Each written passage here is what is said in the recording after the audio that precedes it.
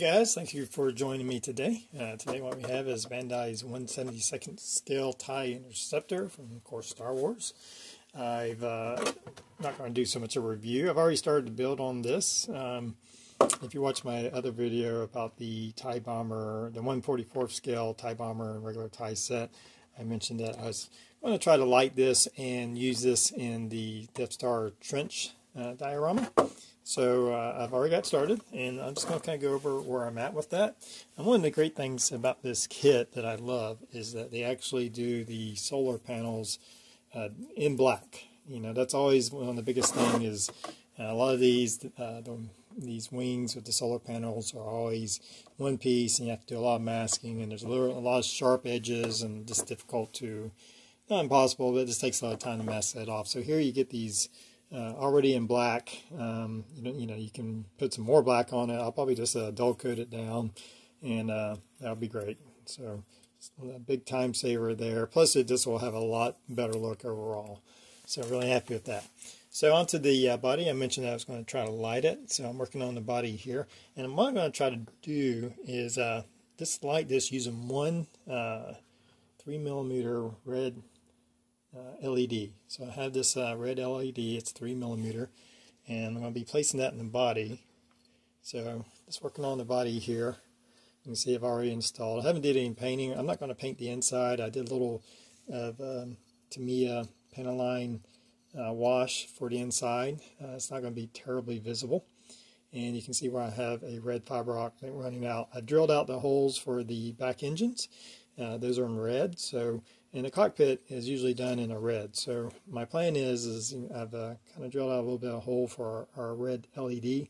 Uh, I'm just going to put that up there. It's going to uh, do, uh, illuminate a lot of the inside here. And then I'm going to run these fiber optics down in, in toward that red LED. So that will bring our light to here. Obviously I'll need to trim this up, but I've drilled it out. Now there's two parts you have to, there's a the outer shell and then the inside of the cockpit. Um, so you'll need to put those in when you drill so you can get your holes lined up. And uh, uh, you can't really follow the instructions in, on that to get this lined up right. So I didn't have much of a problem doing that and getting this fiber optic installed in there. So I'll run those and that'll give us lighting for that. Um, I don't think I'm going to try to light the uh, weapons on the front. Uh, this canopy uh, inside the cockpit and the engines will be lit. So pretty excited about that. Uh, my plan is to use the supplied base. Now, obviously, I didn't use the uh, stand here. Uh, one of the things I do, uh, another thing I like about this, these Bandai kits, is they actually, the stand connects like right here, but they give you a little piece to fill that in, so it's almost invisible where that stand connected. Now, I drilled out a hole that still has to be glued in, and I've cut away um, part of the framework right here, as you can see. I installed a magnet and I'm going to be running this off this uh, 3 volt watch battery. Now it's only 3 volts so I've already tested it. My LED doesn't need a resistor for 3 volts. It works fine. Let's see if I can, uh, as you can see right there. Whoops. Let's try this again. See if I can, uh, it runs fine, doesn't burn out. And it gives you uh, plenty of light for what I'm going to do. So I don't have to hook up a resistor. I can hook this straight up. And this is just a little uh, 3 volt um, holder that uh, I got off eBay to hold this watch battery. And so that'll work good. But anyway, it's going to just uh, simply put that magnet in here and that will hold this in place. Uh, I've drilled out a spot for a uh, little micro switch so that'll go in here and then we'll have our little switch, on and off switch. And then we can run our wires up through this brass tubing. Here I got the uh, bottom of the TIE Fighter already drilled out for that. Still have to glue that in place, but that will hold not a lot of weight, so we don't have to worry about uh, doing super glue. Should probably hold that just fine. But we'll paint all this up, uh, but everything will be self-contained in that stand. So uh, again, we're only using that one uh, LED and that one little 3 volt battery and it should should be able to get all our lighting. So that's where we're at with that and we'll just keep moving forward with this. Alright, just working on getting my uh, engines and cockpit lit up. As you can see, I got my fiber optics kind of run through. Now, I did switch fiber optics. I did have a red 0.75 millimeter. I went to a clear um, 1 millimeter uh, fiber optic for it. Our light's going to be red, so we don't have to have color fiber optics. Uh, as you can see, there's a bend in them. I just took a lighter and kind of held it underneath. You don't want the flame touching the actual fiber optic. Just hold it underneath for just a split second and it'll come pliable. Uh, you want to make sure you check it that you don't kink it. Uh, you want it to be a smooth bend to be able to transfer the light. But I have checked it and it does bring the lights to the tips here. Now I'll leave that like it is until I uh, paint it and then we'll trim those to size. I'm going to put up some uh, decals on the inside, the little panels. Uh, the light will be in here, uh, as I said earlier.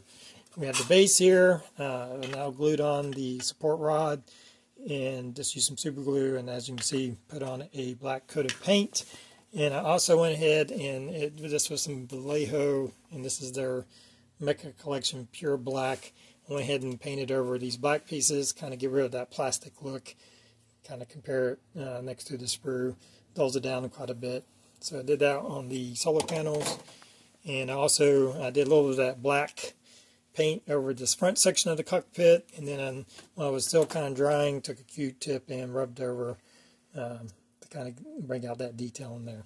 So that's where I'm at. Uh, I'm just I need to work on start getting it together, and also need to do the wiring for the switch in our battery compartment. Now that this is, uh, I'll probably go ahead and paint this uh, first, and then we'll add in the switch and the wiring uh, between our different components right here. All right, here I have uh, most of the uh, ship ready to go to be painted. It's connected to the stand. Uh, I have a little cleanup to do with the wiring, uh, but the wiring's all in place. Uh, we have our, button right here. Already painted the uh, base up. Just did a, a, black coat over with a light gray. But you can see by the fiber optics that my lighting's working. So that's a good sign. And so now I'm going to paint it, and I'll have to paint uh, the edge of the uh, uh, the wings here, or paint these the framework of the wings uh, first, and then we'll apply the solar panels after they're uh, these parts are painted.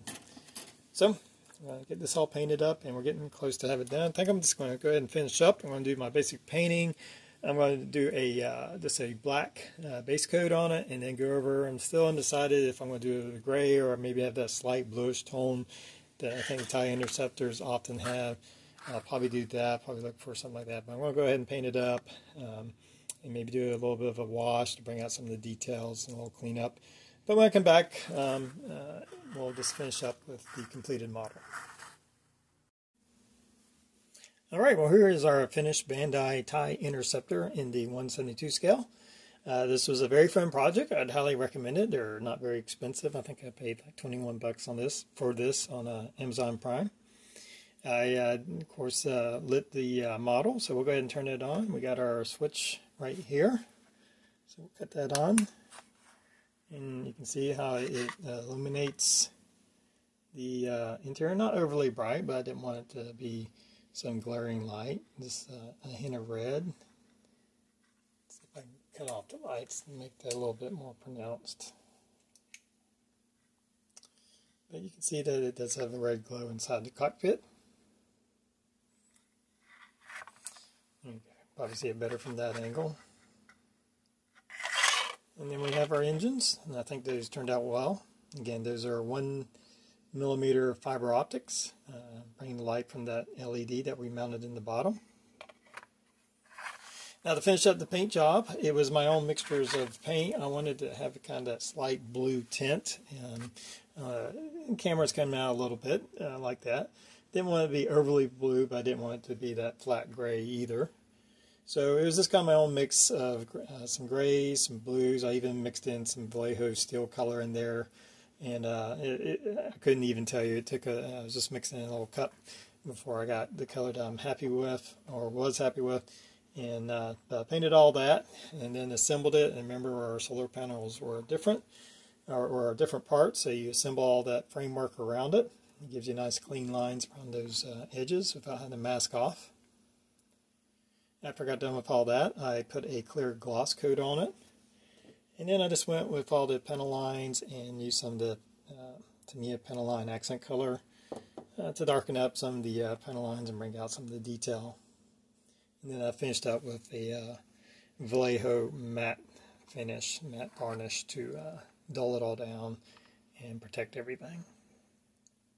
So very happy with the project. Again, it's a very simple way to light this. It, uh, it's a little tight in space in there, but um, you know, with one LED, I, I managed to give lighting, fed, a, lighting effect of the cockpit and the uh, the engines, which it gets its name, the twin ion engines.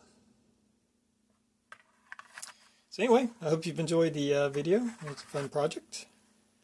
Until next time, everybody have a good one.